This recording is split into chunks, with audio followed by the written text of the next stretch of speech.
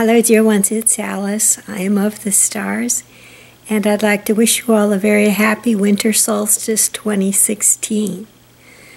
Um, I thought I'd mention my own experience along the lines of that energy, that thin, pure, uh, clear, white energy of the winter solstice yesterday.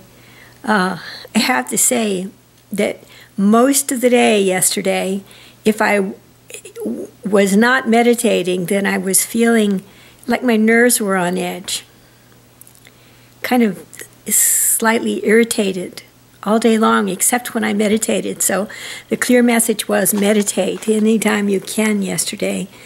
And especially this energy increased uh, after sunset yesterday. You know, here on the on the Pacific coast, the the solstice took place. I think it was around 244 in the morning, actually the following today, in other words, the 21st. But the energies were building up like, like a bonfire of, of thin white light all day long. and it seemed to me this time, more than any other time, the kind of energy where everything dark and dense uh, gathers together and at the very last moment it seems like at 2:44 a.m at the exact moment of winter solstice, leaps out into the arms of God. so, so, but what you know, what needs to be done in, in, in that kind of instance is to just wait patiently and notice the darkness gathering all day long. It's like, how could it get any worse? And then it gets worse, you know. and so, so with faith in God, you know, that's the thing we need to know, no matter how things look to us in our human bodies, that God is taking care of everything, even the darkest and densest energies. So I thought I'd tell you, because usually I'm clairaudient and not clairvoyant, but last night was one of the exceptions when I saw some visions. Uh, in the one case, I saw a vision of like a person who felt compelled uh, to act in, in, an, in an animal sort of manner and was filled with hatred at the thought that he had, he had done that. And uh, at the moment that that happened, that he was filled with hatred, I, I woke up like wide awake, you know. and so I sat up and I started meditating and and and after a while, the energy of like this this this extreme uh, strong hatred energy started to dissipate in the noosphere. Apparently, it was happening like all over Earth, and uh, this was just what I saw was just like a symbol of what was happening in Gaia's noosphere. Right. So when I felt it appropriate and safe to do so, I I lay back down for a while, and not long thereafter, right around that time, that 244 time, I again woke up all of a sudden. And what I felt was the energies that had been there before were like massing at the top of my crown chakra, up above my crown chakra. And the intention of the energies, you know, some people call them adverse forces or uh, negative astral entities or whatever it was. It, Gosh, I hear the strangest sound. Ah, it's just a jet. Wow. Anyway, um, it, it felt as if these adverse forces were massing above my crown chakra with the intent to descend down through my central vertical power current, straight down through my body and like with intention of malice, right? And this happens every once in a while, so it's like no new thing. But so, but not anticipated as a pleasurable event. so I sat up to meditate immediately, right? And and what happened was I had a vision that these energies had descended like that inside of my inside of my body and were like tainting the central, like uh, it, it's as if uh, the hollow core theory of, of Earth, Agartha, the the astral plane of, of Earth, the electromagnetic field, where there's a central uh, um, channel. It had been tainted down from the North Pole down through actually the northern hemisphere, kind of mid northern hemisphere, through that area.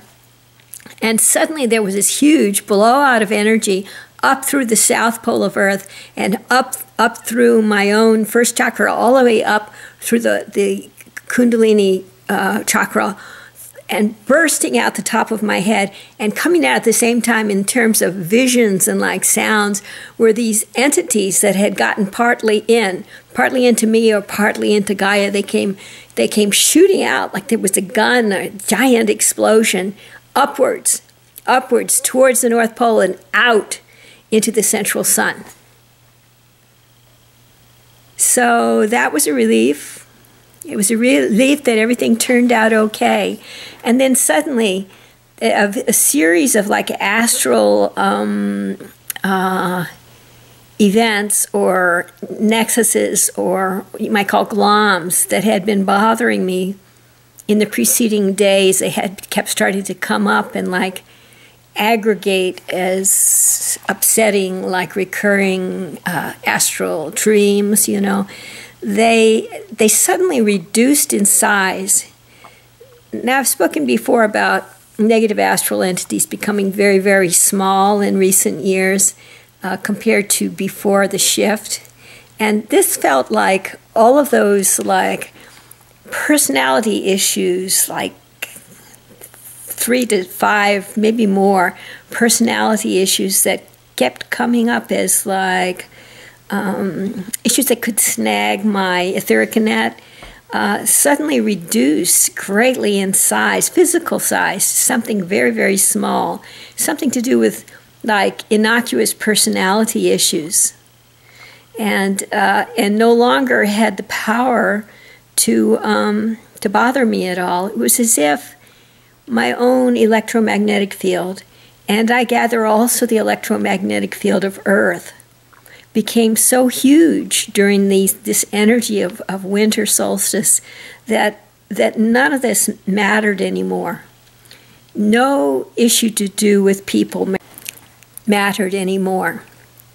So, so where is Earth beyond all her beings and out there in the sacred space of the universe? How are we to adapt to this new way of being? These are the the wonderful things that are to befall us, the mysteries that are to unfold during 2017.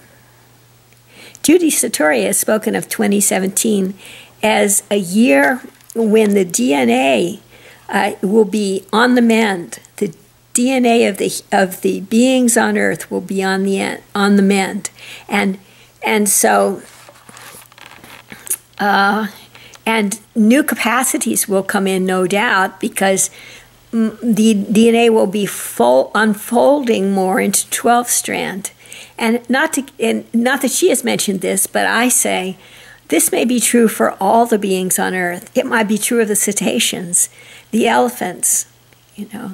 It might be true of of the Lemurians underground. It might be true of the Maldakians and the the Martians and the Venusians and all the different planetary array of beingness that occurs here on this planet. So so might not just be human DNA, but as some say, Gaia Portal used to say, H U E M A N with a hyphen in between, the new hue you know, might include all sentient beings of all varieties here on Earth, varieties that many of us never even knew were here.